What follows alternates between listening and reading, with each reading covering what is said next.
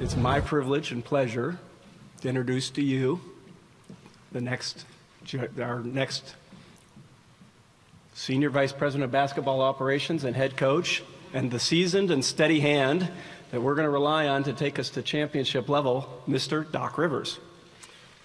Thank you. Uh, uh, we don't need any applause or anything. Um, well, first of all, I hope this is the last time that I'm the center of attention here. Uh, and, and, I'm, and I'm say that honestly. It's, it, will be about the players.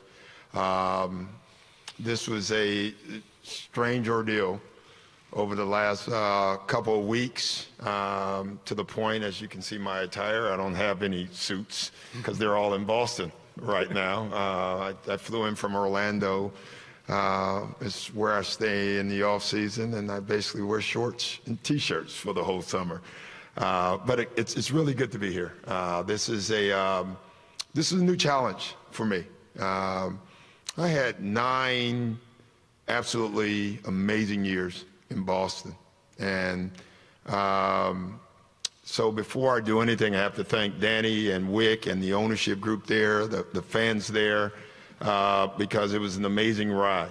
Um, and when I look back upon that and, and look where I'm sitting now, uh, that's where we want to go. We want to get to that level of winning.